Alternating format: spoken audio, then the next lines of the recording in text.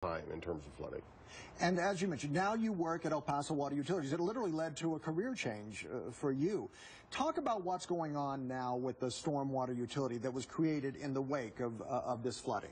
Well, what's going on is we're we're working very diligently to try to to improve the situation, improve the infrastructure, and you know the reality is that that historically it was just not funded.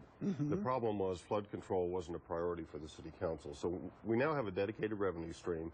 It's small. It's 16 million a year. We're trying to get it ramp it up to get it up a little bit from there. But we have done a little over 100 million dollars worth of work. Um, we just commissioned the Magnolia Pump Station. It's a brand new pump station on I-10. We've kind of been focusing on, on the I-10 flooding problem first. Um, we're doing it, jobs all over town, but that's kind of the biggest part of the effort.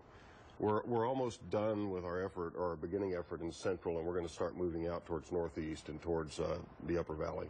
Now, the storm that hit 2006, it was called like a, a 500 year storm or, or something along those lines. We don't expect one, but if we get hit with a 500 year storm now, how better prepared are we, or how prepared are we to deal with that? Well, we're we're far better prepared. I'll I'll tell you there will be flooding. You know, we don't design for a 500 year event, so there will certainly be flooding. But to use I-10 as an example, um, on August 1st of 2006, it was closed, I think, for eight hours, seven or eight hours, and and Literally became a parking lot. it did.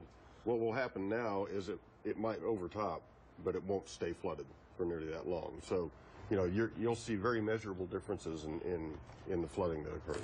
All right. Well, Alan Shubert, thank you for joining us uh, this morning. Hopefully, we won't see more flooding like that for a while. And the KFOX 14 Morning News will continue after this break.